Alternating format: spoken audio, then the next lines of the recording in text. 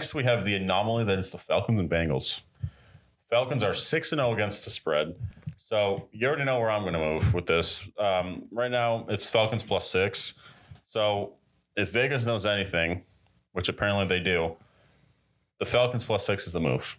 And so this will be a close game. Falcons have been in every single game.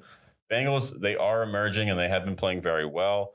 With that over a 47 and a half, I do think this is going to be a higher scoring game. I like how the Falcons have moved the ball, even with some of their star players not being utilized, like Kyle Pitts and um, Drake London being banged up.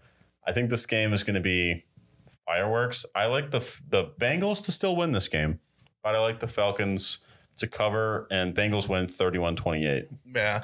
I don't really think the Falcons will cover just because you're playing at home against the 49ers. They have a banged up front seven, and Jimmy G gave you a few touchdown, two picks, which is basically the difference in the game, which is two touchdowns. You're going to Cincinnati in this game. It's starting to get cold. And now this is where we find out who's legit and who's not.